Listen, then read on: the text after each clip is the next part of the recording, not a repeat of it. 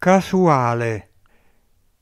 La via della conoscenza attraverso Attilio M, voce della quiete.vaiano chiocciola gmail.com. Una voce. L'uomo nasce, l'uomo vive, l'uomo muore. Lungo quel tragitto ognuno incontra persone, fatti naturali e fatti sotto forma di azioni prodotte da lui, o in relazione con altri, oppure fatti subiti ad opera di altri esseri.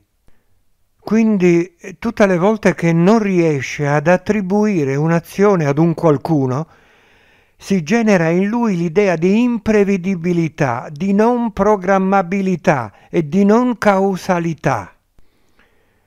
Questo perché Nonostante l'uomo sia abituato a stabilire delle connessioni nel suo agire in prima persona e nei fatti che coinvolgono altri individui, sente che qualcosa comunque gli sfugge, per quanto sia vasto ed articolato il principio di causa-effetto che introduce per spiegarsi ciò che accade tutte le volte che non gli risulta circoscrivibile e definibile con i parametri che è abituato ad utilizzare.